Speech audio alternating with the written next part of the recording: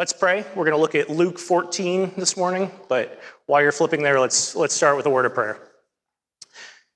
Heavenly Father, God, you, man, you are so good to us.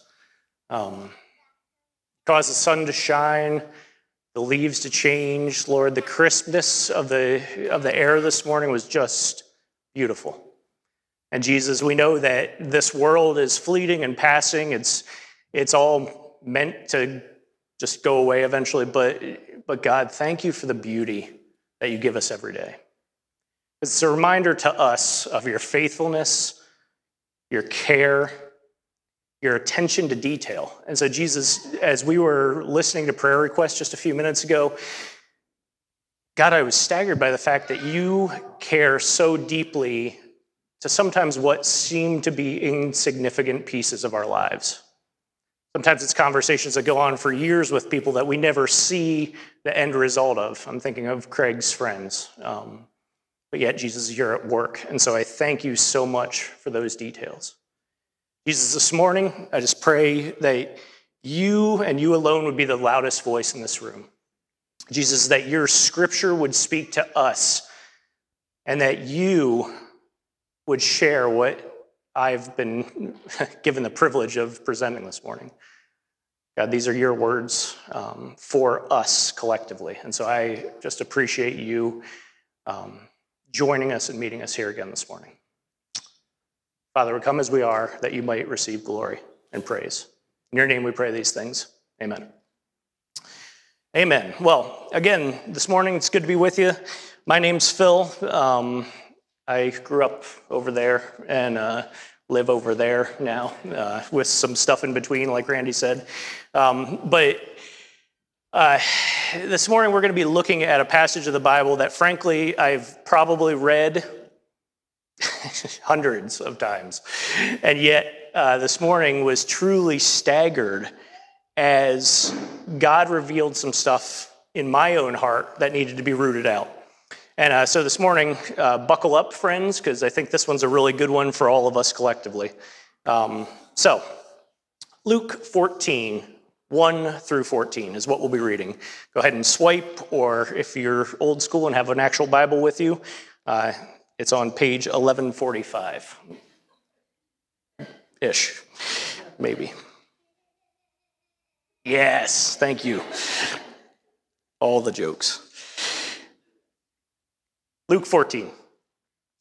One Sabbath, when he, that is Jesus, dined at the house of a ruler of the Pharisees, they were watching him carefully. Behold, there was a man before him who had dropsy. And Jesus responded to the lawyers and the Pharisees, saying, Is it lawful to heal on the Sabbath or not? They remained silent. Then he took him and he healed him and he sent him away. And they said, and he said to them, Which of you, having a son or an ox that has fallen into a well on a Sabbath day, will not immediately pull him out? And they could not reply to these things. So he told them a parable who, to those who were invited. And when he noticed how they chose their places of honor, he said to them, When you're invited by someone to a wedding feast, do not sit down in a place of honor, lest someone more distinguished than you be invited by, the, by him, that is, the person throwing the feast. And he who invited you both come to you and say to you, Give your place to this person. And then you will begin with shame to take the lowest place. But when you're invited, go and sit in the lowest place, so that when your host comes, he may say to you, Friend, move up higher. Then you will be honored in the presence of all who are at the table with you. For everyone who exalts himself will be humbled and those he who humbles himself will be exalted. Verse 12. He also said to the man who had invited him, When you give a dinner or a banquet, do not invite your friends or your brothers or your relatives or rich neighbors, lest they also invite you in return and you be repaid. But when you give a feast, invite the poor, the crippled, the lame, the blind, and you will be blessed because they cannot repay you, for you will be repaid at the resurrection of the just. So this week I had the uh, extreme pleasure, some might call it, um, others might not call it that, myself included, of attending a banquet in Pittsburgh. I put on a suit. Yes, I do own one, for those of you who would think otherwise. And I went to the Legislators' Ball and Gala in Pittsburgh at one of the biggest oil and gas headquarters in that area. Everybody was in their fanciest dress, all these 90 some lawmakers and a bunch of oil and gas executives and a bunch of people like me who had no business being there. And we walked around and, and we chatted and, and we drove in our fancy cars. Well, they have fancy cars, I have my truck. Um, and we talked about nothing for a good little while. And then it rained and we all went home. It was an out of place kind of banquet for me. And it reminded me as I studied this very interesting little piece of text here how out of place Jesus finds himself in our. Jesus is invited by a Pharisee, actually one of the head Pharisees, to a basically a dinner after the pass or after the Sabbath uh, teaching and other things that had happened in the temple. It's a group of Pharisees that are the in crowd. It's the people who are at the top of this structure, and Jesus is invited. Now, Jesus, he's not totally out of place there. He was a teacher, he was respected, he was kind of familiar with that stuff, but he certainly was there for a reason, not of honor necessarily.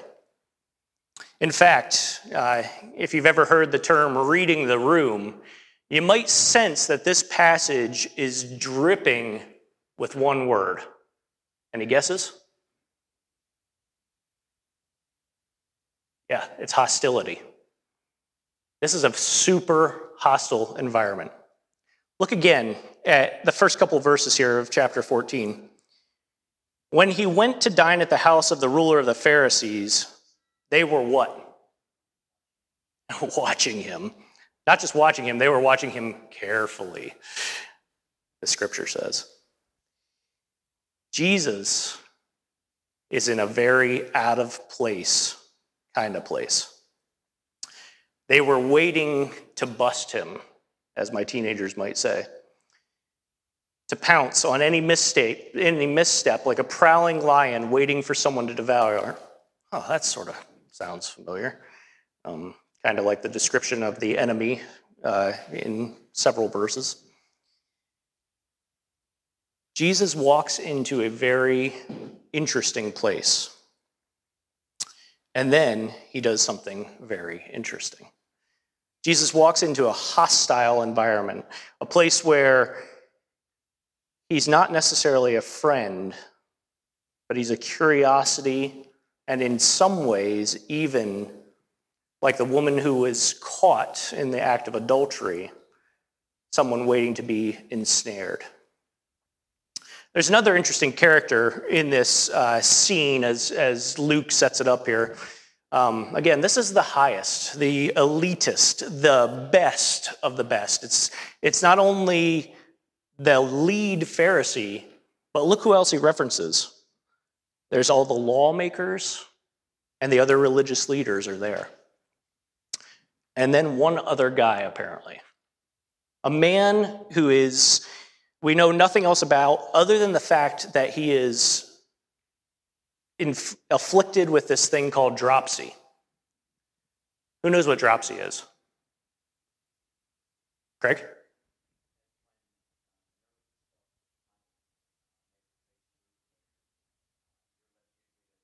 Yep. Yeah. Yeah, so it's a, it's a physical ailment. It's not necessarily contagious, it's not necessarily a major problem, but it's this thing, it's usually disfiguring. It's also very often um, works in the, in the body in a way that creates heavy fluid retention. So your body just keeps water. And it's very interesting that this guy is here because in the scriptures on the Sabbath day, and we're going to get into a lot more of this in a second here, but uh, as I was studying this morning, especially, this really came kind of to the fore. To have somebody with something like that at a religious feast like this would have been very out of place. The man with dropsy would have been ceremonially and religiously unclean. He had no reason to be there. And in fact, you could probably make a pretty good case that there's one and only one reason that he was invited. Any guesses? so Jesus could use him. Yeah. Maybe something along the lines of what the enemy meant for evil, God could do something good. Dropsy is a condition that, that retains fluid in the body. You might call it like an edema today. Generally, uh, around the heart uh, or major organs would, would carry uh, extra water. And by engaging this man, Jesus exposes a standard that's been put in place by years of tradition and law under the motif of the inbreaking of God's rule, Jesus comes on the scene. It's a Sabbath day, a day reserved for rest and for worship for the Jews. No work could be done, and so Jesus asks them a question. He says, Is it lawful, according to your understanding of the scriptures and tradition of all these things, is it lawful to heal on the Sabbath? What's their reply? nothing. You're sitting at a table with a bunch of lawmakers and Pharisees, the elite of the elite. He says, Hey guys, question. Um, Jesus over here, in case you're not familiar. Uh, not that any eye was turned away from him. Is it lawful to heal on the Sabbath? They remain silent. So, in a hostile environment, the script on him and says, Here's a little bit of hostility for you. Is it lawful to do this? With nothing out of a response from them, Jesus disrupts the room by introducing a kingdom ethic of grace. I want us to remember those words this morning kingdom ethic of grace, because I think we're about to go on a journey together that may actually be a little bit painful for us this morning. I won't say that too loud because we're not there yet, but keep in mind a kingdom ethic of grace this morning. So, what does Jesus do? Whichever verse this is, I'm trying to find it. Um, verse 4 they remain, they remain silent. So, Jesus took him and he healed him and he sent him away. Jesus took him and he healed him and he sent him away. In the Greek, those words, sent him away, are less saying, here you go, go on your merry way, and saying Jesus released him. The Greek word is actually released. Jesus took him and he healed him and he released him. Let that wash over you for a second because he says to the crowd then that's watching, which of you, having a son or an ox that's fallen into the well on the Sabbath day, will not immediately pull him out? And verse 6, they couldn't reply to these things. What's Jesus doing?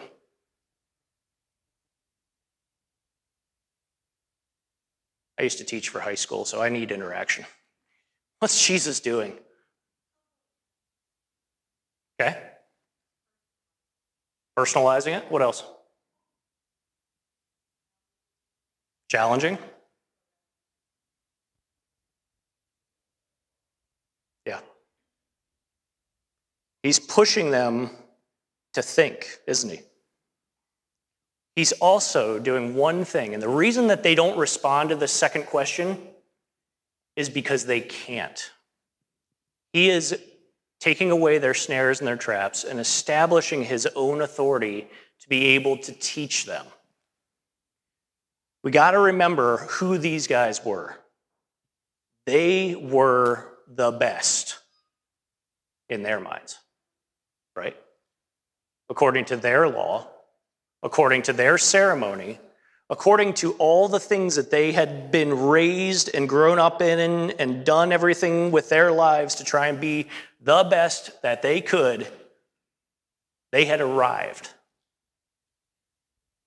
And now we have Jesus coming in and saying, Which of you would not do these things on the Sabbath? And what he's doing is he's interpreting all of that law, all of that tradition, and making a correct assessment of it, isn't he?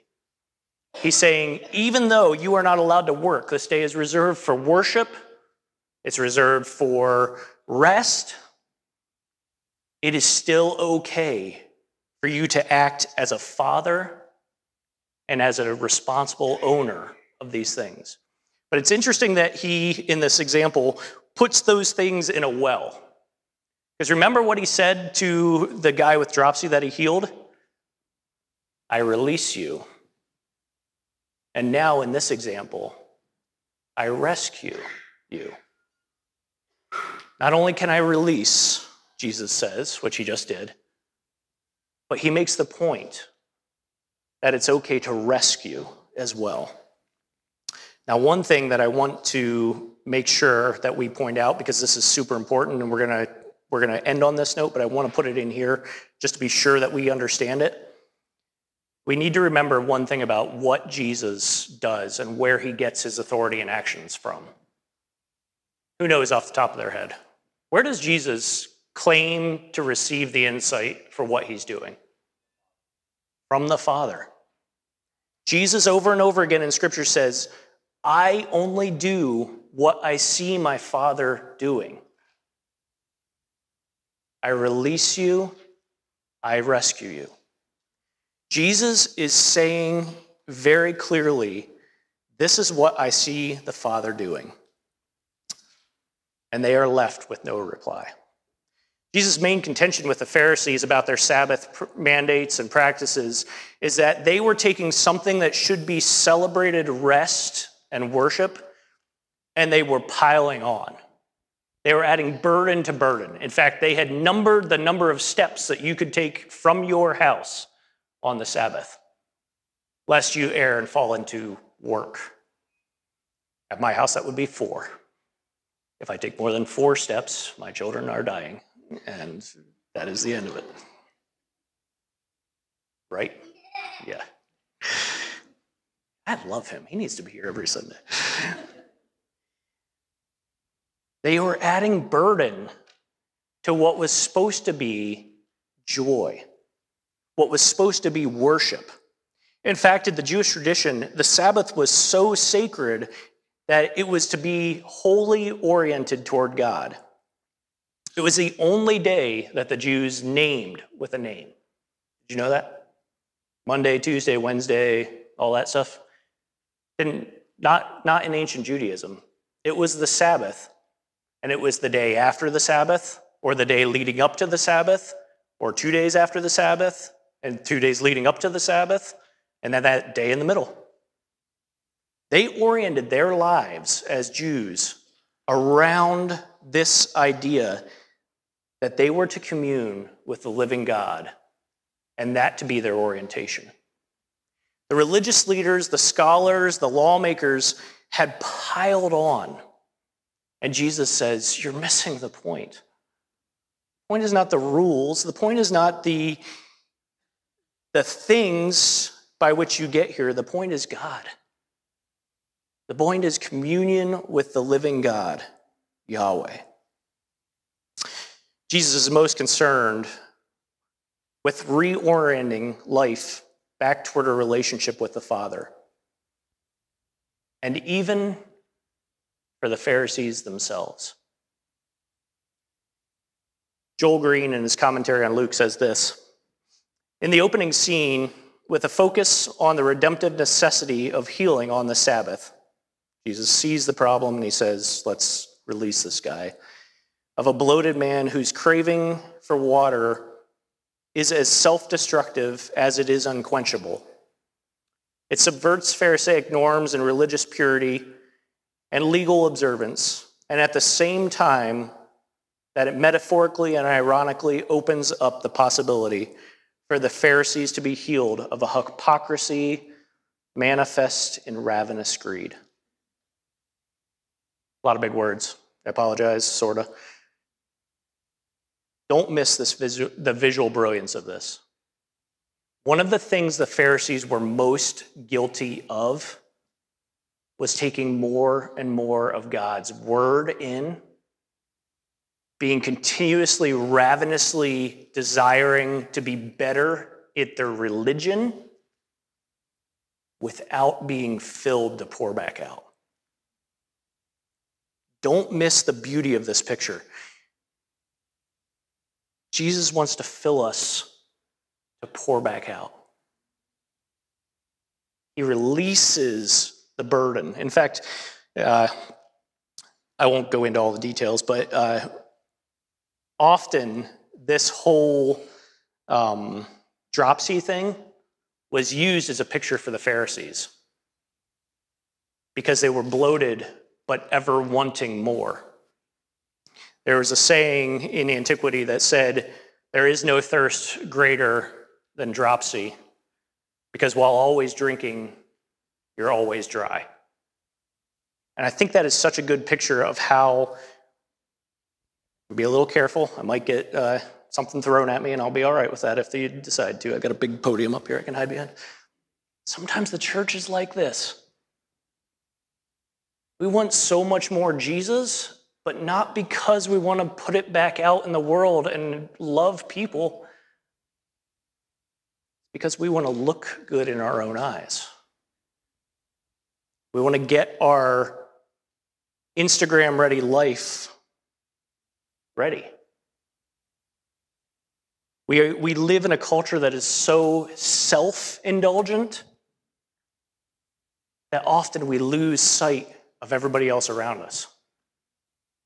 I'll prove it to you because it's the second half of what we're talking about here this morning. Sorry, this is going to be a little bit longer than normal. I don't apologize anymore than that. Jesus was saying something to me this morning, and I think we need to do it. These are this next section, it's labeled parables, but really Jesus is giving kind of immediate commentary um, sort of the Instagram life hacks of the first century Judaism. He now turns his attention, with them not being able to reply to him, directly to those sitting at the table. They're there for a meal, yes, but these meals in antiquity served a very vital social function. Luke, a physician, classically trained, writes from the perspective of the Greco Roman background, and the practice of gathering over a meal or even just drinks was referred to as symposia or symposium. It's a gathering designed as a way for social interaction where ideas could be shared openly and freely by all classes, ethnicities, socioeconomic citizens. And the Jews kind of used this idea to be best exemplified on the teaching that happened at the temple steps. They would come together and they would have discussions, they would have free exchange of ideas, and people could argue about finer points of theology. But in this scene, Luke paints what was normally a collaborative ga- gathering in a light of confirmation bias at its most finest picture. Talking in a circle to those who think exactly like we do constantly is a dangerous thing. I've recently started reading a lot more um, Catholic, a lot more uh, other, faith, other Christian faith perspectives on things. And for me personally, it's been very, very helpful to break my train of thought that I'm used to thinking in. That's an aside. The Pharisees saw these group gatherings as a chance to establish the in group boundaries that embodied the socio religious values pertaining to ceremonial purity to worship at its finest. Again, this was a gathering of a, the social elite. You didn't get an invite to this unless you were quote unquote worthy.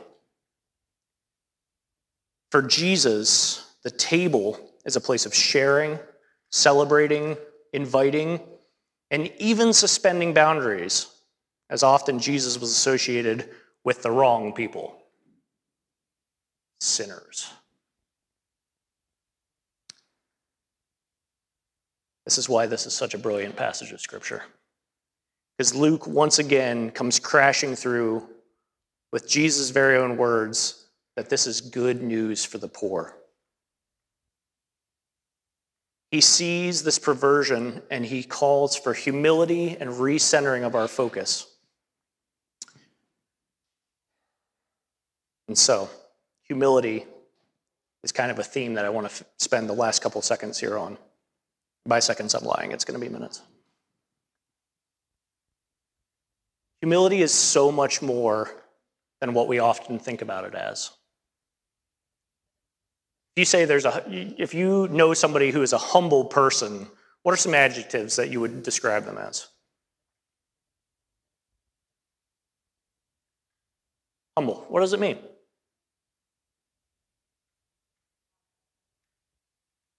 I heard selfless maybe and thoughtful of others. Is that it? Okay. What else? Kindness. Okay. Humility, kindness. Yep. Yeah.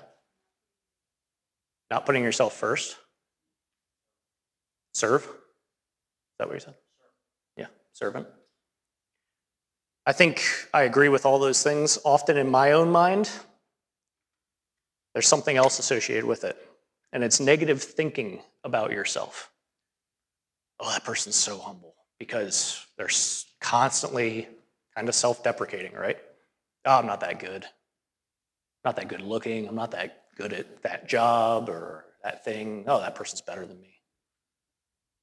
But humility is not that. And this is the word that I think God has for us this morning. I want to read a little bit out of this book. Uh, this is uh, one of my favorite authors. His name is Brennan Manning. Not sure if anybody's familiar with him. Um, this is his book called Ruthless Trust. And while I was reading this morning, well, as I was reading this week, I came upon this chapter. And I'd like to read a little excerpt of it because um, I think it hits this right on the head so well. He says this Poor self image reveals not humility, but instead a lack of humility. Feelings of insecurity, inadequacy, inferiority, self hatred rivet our attention on ourselves. Humble men and women do not have a low opinion of themselves, they have no opinion of themselves because they so rarely think about themselves.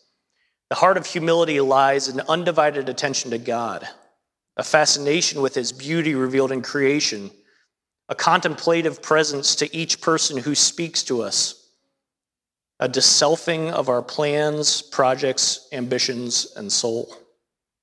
Humility is manifested in an indifference to our intellectual, emotional, and physical well being, and a carefree disregard of the image we present.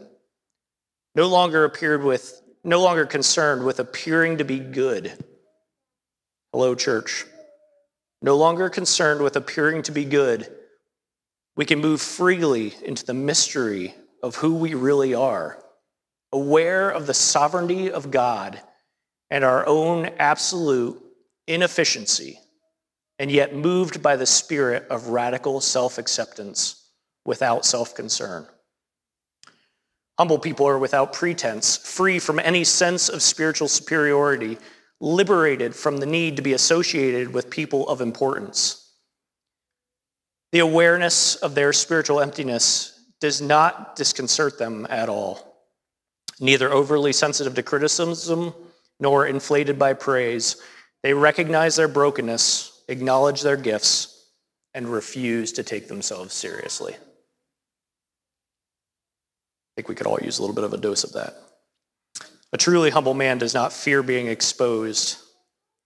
When the light of Christ dawned in our darkness, we sink to our knees and we pray with the sinful but honest tax collector at the temple, Oh God, have mercy on us, sinners. One more little excerpt. The great weakness of the North American church at large is certainly in my life is our refusal to accept our brokenness. We hide it, evade it, gloss over it. We grab for the cosmetic kit and put on our virtuous face to make ourselves admirable in public. Thus, we present to others a self that is spiritually together, superficially happy, and lacquered with a sense of self deprecating humor that passes for humility. But the irony is that while we do not want anyone to know we are yet judgmental, lazy, vulnerable, screwed up, and afraid. For fear of losing face, the face that I fear losing is a mask of an impostor, not actually my own. Last thing from Brennan. There's one conspicuous absence of power and wisdom in the North American church. It has arisen because we have not come to terms with the tragic flaw in our lives the brokenness that is proper to the human condition. Because, as Paul quotes, my power works best in your weakness. Last week, Randy mentioned that, I can't remember if it was after worship or what, the beautiful chaos of our community. And friends, we are broken people. And guess what? That's okay. In fact, that's good. Because it should lead us to be able to go to the table unburdened by what we can possibly bring. Our thoughts, our ambitions, our notions of self worth mean nothing. Each time we take communion, each time we fellowship together, each time we worship in this place, it is because we can't offer God anything, but He's offered us everything. Please hear us this morning. And I say us because it's not me. I'm pretty sure this is what the Holy Spirit wants to teach our community. Our faces turned toward Jesus is the only thing that matters. This building is beautiful. I am so thankful to be in this place. I'm so, thankful for the hard work that's gone into it. But Jesus wants our hearts, not our work. I'm going to ask Noah to come up and just play on the guitar for a couple of minutes here. I'm going to close this in prayer. We're done. I'd ask you before the rest of the worship team joins him just to take a minute, close your eyes, take a walk if you need to. It's a beautiful day outside. Can we maybe take stock this morning and ask where we sit at the table with Jesus?